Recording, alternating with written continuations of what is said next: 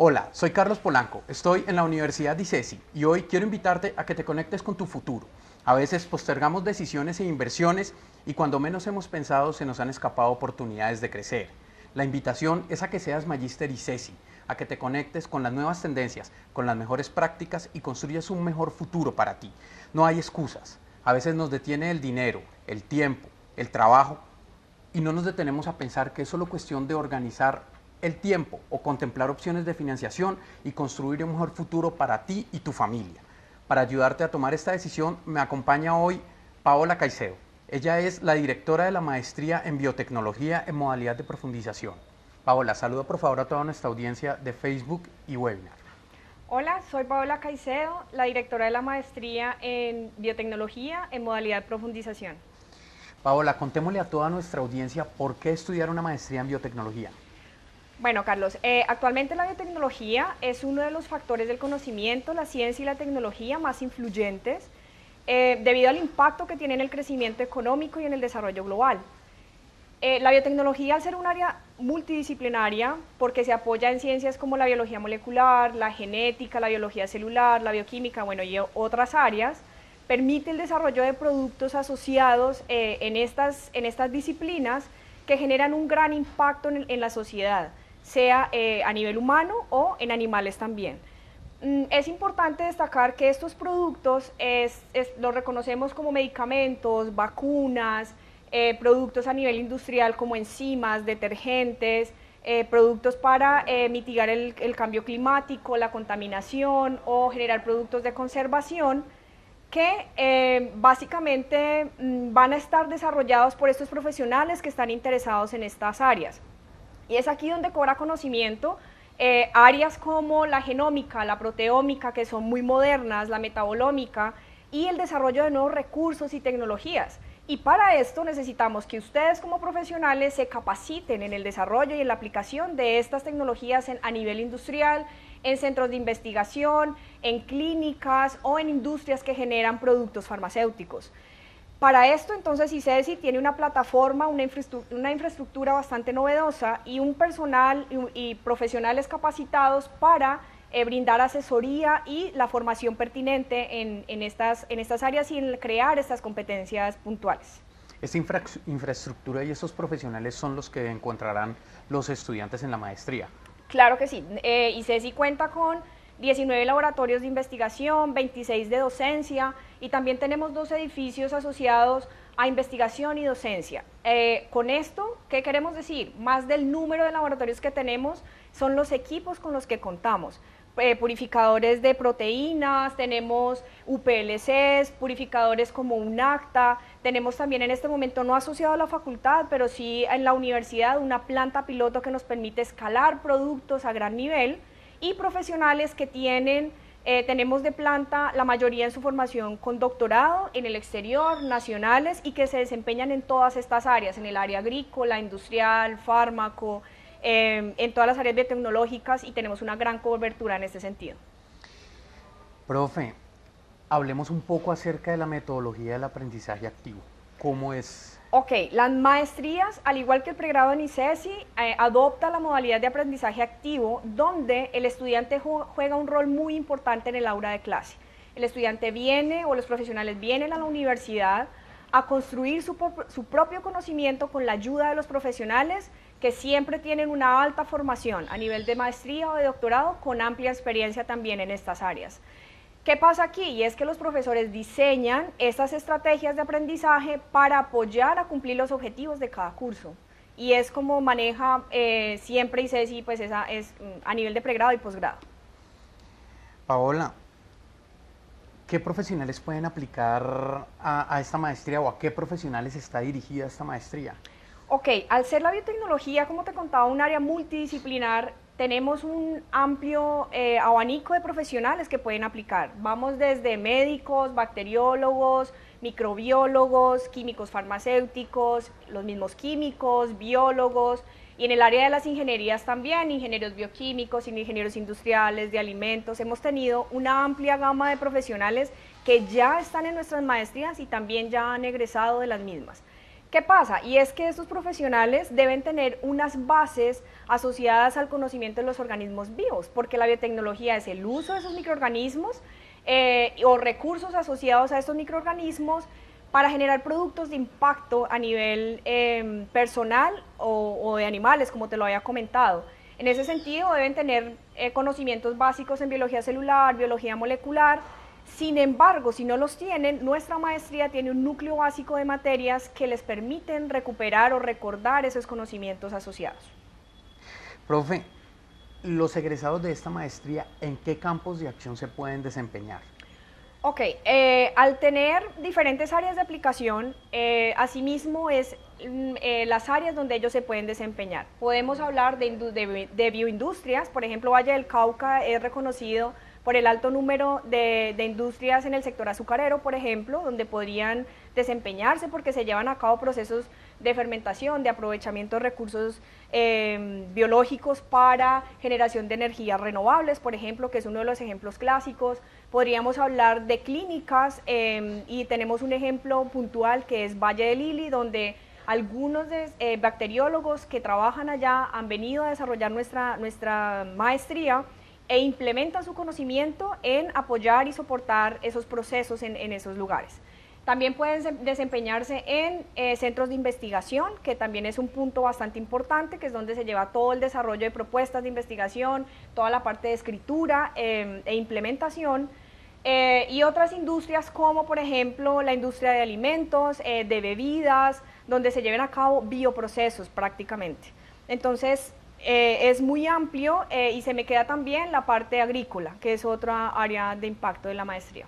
Eso quiere decir que en la región tendríamos un mundo de oportunidades para los egresados de esa maestría. Sí, tenemos varias industrias en las cuales ellos pueden llegarse a desempeñar. Muchos de nuestros egresados se han incorporado en industrias eh, donde se llevan a cabo productos biotecnológicos y ya han tenido éxito en, su, en la incorporación o muchos de ellos ya están trabajando en esas industrias y mejoran sus capacidades eh, y las potencian para poder llegar a, generar un gran impacto dentro de sus empresas. ¿De qué industrias estamos hablando, profe? Estamos hablando de, nuevamente, de industrias em, donde llevan a cabo procesos biológicos, alimenticias, em, e ingenios azucareros nuevamente. Eh, hay un ejemplo muy puntual en, en Cali, por ejemplo, que es Semillas Valle, que es donde generan productos para potenciar Em, a la agricultura. Otro campo de acción son las clínicas, donde profesionales asociados a estos lugares, como bacteriólogos, médicos que también hemos tenido asociados en la maestría, pueden conocer los métodos de diagnóstico que están a la vanguardia, así como también ejecutar proyectos asociados a farmacogenómica o medicina personalizada. ¿Por qué? Porque tienen la capacidad de conocer em, esas enfermedades, su fundamento y poder aplicar estas técnicas eh, de biotecnología para identificar factores asociados a las mismas. Profe, ¿con qué aliados cuenta la maestría? Ok, la Universidad de ICESI, en este caso puntualmente con la maestría, tenemos tres aliados principales. El primero es Fundación Valle de Lili, que es una clínica muy reconocida en la región y en Colombia.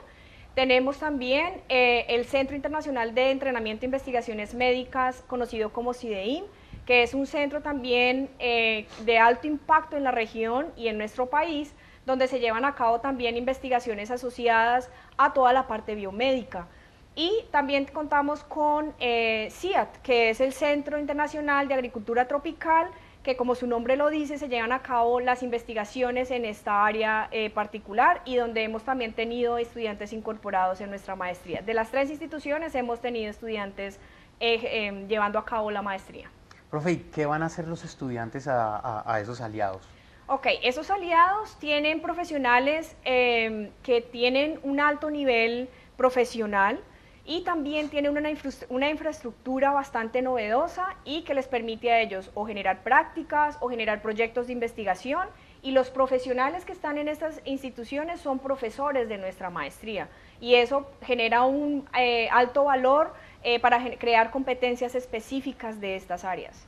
Esto quiere decir que en la maestría tenemos gente del sector del sector real, no sé si, si, si la palabra es el sector real, que viene ya teniendo la práctica a enseñarle a los estudiantes? Exactamente, eso es lo que eh, nosotros hemos procurado y es traer estos profesionales que ya han vivido esa experiencia, que en el aula de clase les cuentan esa experiencia y les enseñan a cómo enfrentar estos, estos retos, a cómo identificar problemas asociados a la biotecnología, a cómo proponer una solución y cómo ejecutarla, que es lo más importante. Eh, y es todo un proceso que ellos van fortaleciendo en toda esa malla curricular. Hablemosle un poco a nuestra audiencia de la malla curricular, profe. ¿Cómo es el plan de estudios? Ok, eh, la maestría comprende tres núcleos generales. Uno que es un núcleo básico, donde tenemos todos los cursos que son obligatorios, que nos dan todos esos fundamentos para conocer a los seres vivos, sus componentes, porque de eso se trata la biotecnología, del aprovechamiento de estos seres vivos. Eh, una vez tienen estos conocimientos básicos, ya te voy a hablar un poco cómo está estructurado semestre a semestre, ellos ya empiezan a ver eh, unos mm, cursos especializados asociados a su interés particular, porque todos tienen un interés muy diferente, sea médico, sea agrícola, sea industrial, y van a tener esos cursos selectivos donde van a fortalecer esas competencias. Y viene la parte de formación en el área de investigación, en la parte científica, que es donde ellos aprenden a formular una propuesta de investigación, donde ven toda la parte de diseño metodológico, cómo la escriben y también cómo escriben a nivel científico, cómo reportan esa información que obtienen de sus investigaciones. Siendo así, con estos tres núcleos básicos y generales, en el primer semestre, en esta maestría de, de profundización, tenemos cursos que les permiten refrescar, por así decir, esos conocimientos en biología molecular, biología celular, en microbiología y en bioquímica avanzada. Son los primeros cursos que ellos toman. Después de que ellos ya han adquirido estas destrezas, mm, pasan a un segundo semestre donde ya ven un laboratorio avanzado en biotecnología, eh, que lo llamamos así porque estas personas por lo general están asociadas ya en empresas donde llevan a cabo un ejercicio pero no están involucrados en el quehacer y en conocer esas tecnologías de punta. Esto les permite a ellos durante 10, sesiones entrenarse en estas técnicas. También ven otras áreas como la bioinformática, que es muy importante, y genómica, que ya te lo había mencionado previamente. En un tercer semestre empiezan a ver ya electivas o cursos que les permiten fortalecer esas capacidades y competencias y en el último semestre, mm, perdón, también se me pasa proteómica, que es otro curso fundamental, diseño de experimentos y empiezan a ver la formulación de esa propuesta de trabajo. ¿Por qué? Porque en el último semestre se van a enfocar en desarrollar ese trabajo de investigación, que en este caso es monográfico. Es una monografía asociada a un proceso biotecnológico, al desarrollo, a la formulación de este proceso biotecnológico eh, ¿Y cómo lo implementarían? Muchos de los estudiantes lo que hacen es aprovechar su trabajo, su área de, desempeño, para potenciar esas capacidades de las industrias. Entonces los, apoyan, los apoyan sus trabajos, la desarrollan y la implementan. Y muchas veces esa monografía puede llevar un componente práctico. Eso va a depender mucho del lugar de donde venga o hacia dónde se proyecte el estudiante. Eh, profe, ¿cuánto dura la maestría en total y cómo es el manejo del tiempo? Eh, ¿Qué tanto tienen que asistir? Ok, eh, en esta modalidad eh, tenemos cuatro semestres que se desarrollan en dos años. Mm, es una maestría en la que asisten viernes de 6 a 10 de la noche y sábado de 8 a 12 del mediodía. Y esto pensando precisamente en esas personas que trabajan, que están desarrollando un trabajo y que ya se dedican en los fines de semana eh, a desarrollar esta maestría. Esa es su dedicación y obviamente en los días de semana a, desarrollar los trabajos o actividades que se designen durante las clases.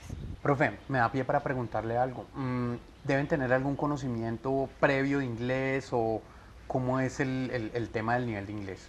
Es ideal contar con un nivel al menos de lectura eh, y comprensión de textos, porque la mayoría, y eso lo sabemos, el lenguaje en la ciencia es en inglés y em, se exige, por así decirlo, para que facilite esa interacción en el aula.